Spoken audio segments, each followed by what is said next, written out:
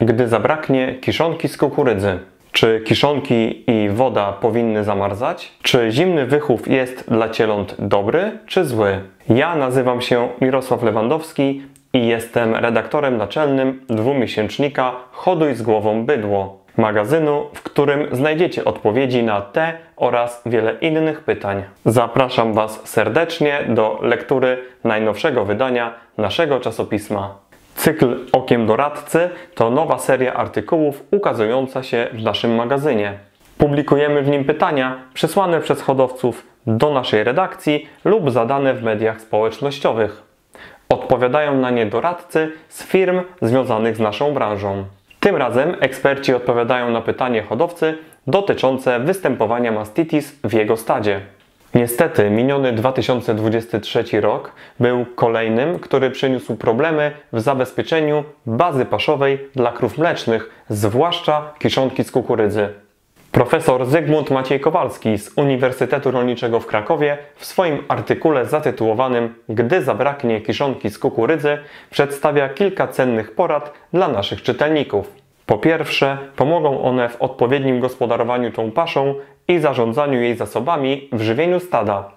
Po drugie, podpowiedzą, w jakim stopniu, chociaż częściowo, zastąpić kiszonkę z kukurydzy innymi komponentami. Krótszy czas pobierania paszy, spadek wydajności, a także gorsza jakość podawanego na stół paszowy TMR-u to główne, ale nie jedyne skutki karmienia bydła zamarzniętymi kiszonkami.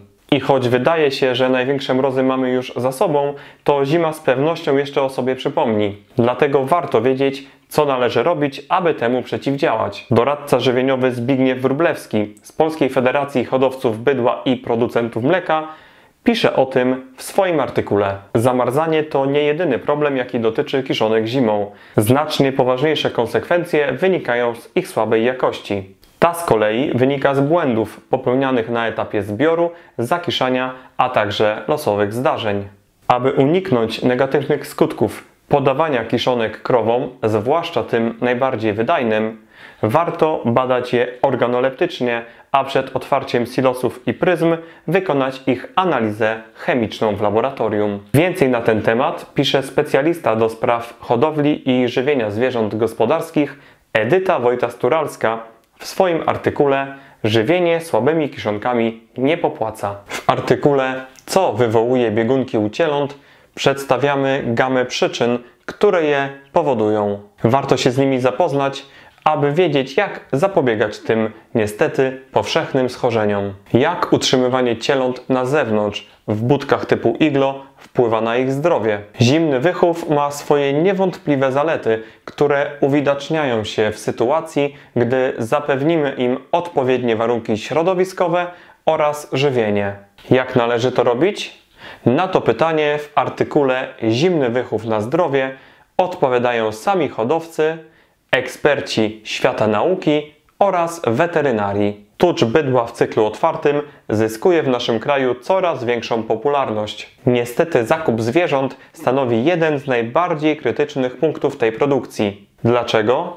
Ponieważ pochodzą one często z wielu źródeł, a ich status zdrowotny jest nieznany. Lekarz weterynarii Maria Churek w swoim artykule Kwarantanna cieląt kluczem do sukcesu pisze o tym, co warto robić i na co zwrócić uwagę, aby opas bydła był opłacalny. Hodowcy w ramach rolniczego handlu detalicznego sprzedają mięso od 20-miesięcznych jałówek, które charakteryzuje się optymalnym otłuszczeniem, kruchością i delikatnością. Dzięki skróceniu łańcucha dostaw ich zysk jest wyższy niż w przypadku sprzedaży zwierząt do rzeźni. Dorota Koprowska wraz z mężem Maciejem zajmują się hodowlą bydła mięsnego. W artykule Ekologicznie i prosto od rolnika prezentujemy ich gospodarstwo. Niedawno rozpoczęliśmy 2024 rok. A jaki był dla hodowców bydła i producentów mleka ten miniony? Zapytaliśmy o to ekspertów, którzy podsumowują minione 12 miesięcy oraz dzielą się swoimi prognozami na najbliższą przyszłość. W artykule zatytułowanym Co dla branży przyniósł 2023 rok wypowiadają się Dorota Grabarczyk z Polskiej Federacji Hodowców Bydła i Producentów Mleka Agnieszka Maliszewska, dyrektor Polskiej Izby Mleka oraz Jacek Zarzecki, prezes Polskiego Związku Hodowców i Producentów Bydła Mięsnego. W najnowszym wydaniu naszego magazynu znajdziecie także wiele innych ciekawych artykułów dotyczących innymi stosowania muta browarnianego i śruty rzepakowej w żywieniu bydła, selekcji w małych populacjach bydła mlecznego, czy Rolnictwa 4.0, w ramach którego prezentujemy roboty udojowe dostępne na krajowym rynku. Zamieściliśmy także ofertę firm mających w sprzedaży suchy TMR lub bazę służącą do jego przygotowania. Naszym stałym czytelnikom życzymy przyjemnej lektury, a tych wszystkich, którzy nie znają jeszcze naszego magazynu, zachęcamy do jego prenumeraty.